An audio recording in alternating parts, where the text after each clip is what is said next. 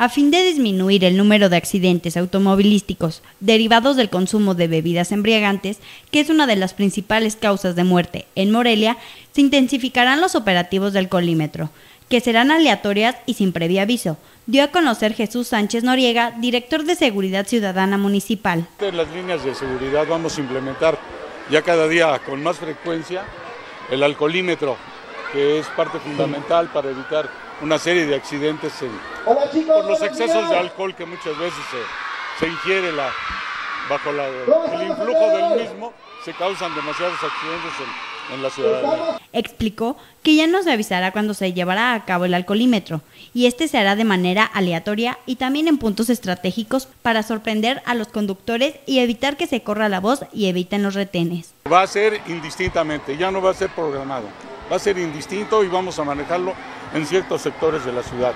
Ya no va a ser esa, no va, no va a caber la posibilidad de que lo estemos anunciando para que no haya precisamente la difusión entre ellos mismos y evadir los puntos de revisión.